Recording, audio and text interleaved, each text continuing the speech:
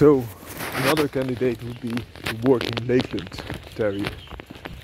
The working Lakeland Terrier is a breed very close uh, to the Lakeland Terrier that is a show version, but with less exaggerated features, less Fox Terrier influences and looks a lot more like a, a long-haired Patterdale Terrier.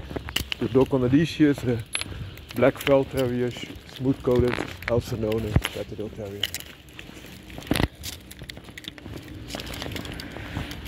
Oi, oi. Oh.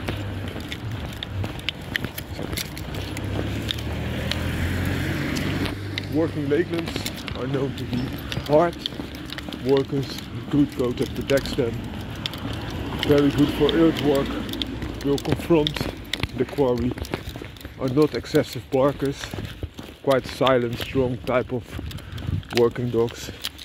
At the, the current state, they are uh, far less common than they once were, and I think a lot of the working lakelands have been either assimilated or uh, switched or taken over in this case by the uh, Patterdale Terrier, which has uh, similar uh, properties, but also um, is worked and evolved more and comes in different coats depending on the terrain.